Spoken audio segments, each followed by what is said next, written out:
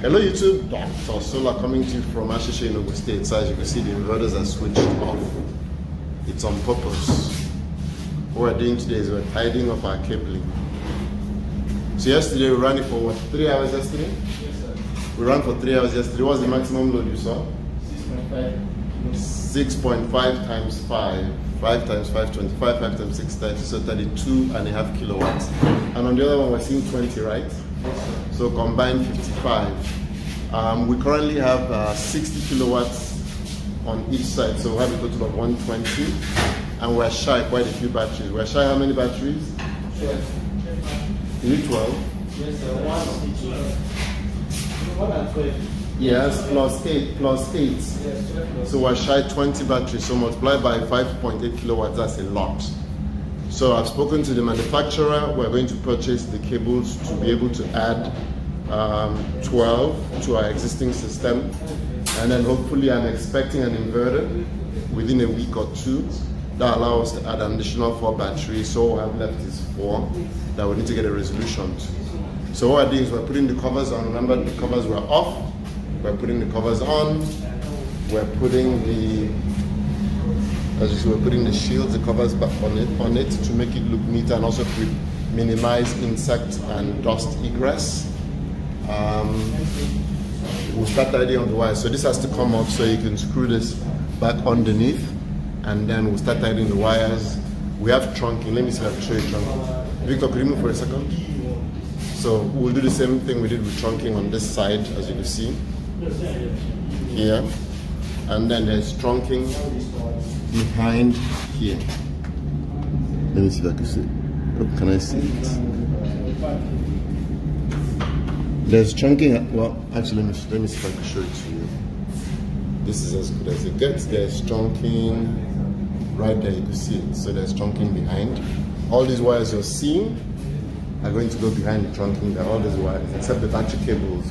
We're still trying to figure out the best way to do the battery cables. I'm thinking that we'll run the battery cables down here and then up here, then uh, up here, then run them, you know, tag them to this and then bring them in from the top. I think they're going in from the bottom. Maybe we should bring them in from the top. I'm not really, I'm still debating that. We'll see how that plays out.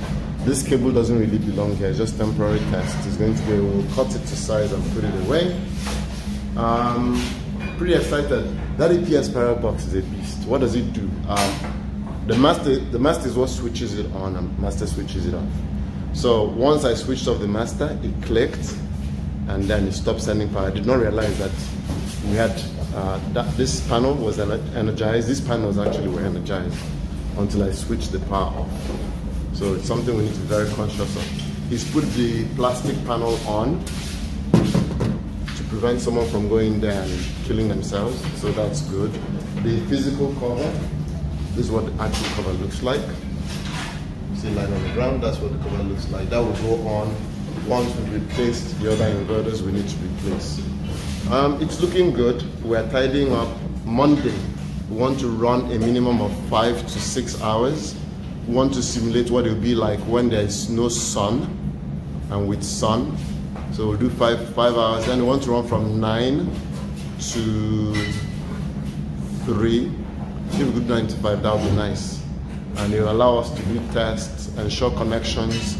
We saw some connections that didn't belong on, on the, we saw some connect, connections that were not supposed to be on the system. So we had all the breakers inside the hotel off, and we saw about 10 kilowatts being sucked out of our system. So we've spoken to people, and they are removing um, illegal connect, Ill, well, illegal connections into the building. So that will that will resolve part of that issue.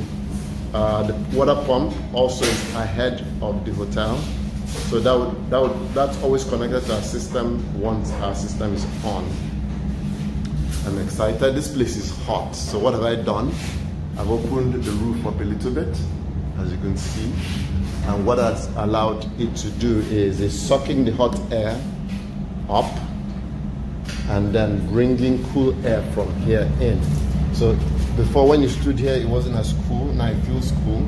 So you have the convection convection effect where it's pulling the cool air from here and then sucking it into the roof and then you know wherever it is it needs to go, let it go as long as it doesn't remain in this room. So that's it. Hopefully by Monday the AC will be in. Monday we want to run about six, seven, maybe eight hours on the system.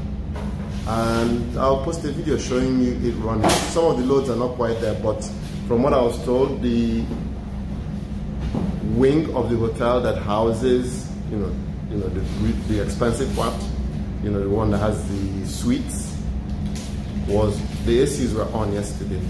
So that was a good thing for us. So we, we powered that without much of an issue. We weren't able to get our VFDs connected, so we're powering the ACs without a VFD. Is that correct? Yes, sir. Okay, so we still need to figure out how to get the VFDs to work. And if you like what you see, give me a thumbs up. If you haven't subscribed, please click the subscribe button.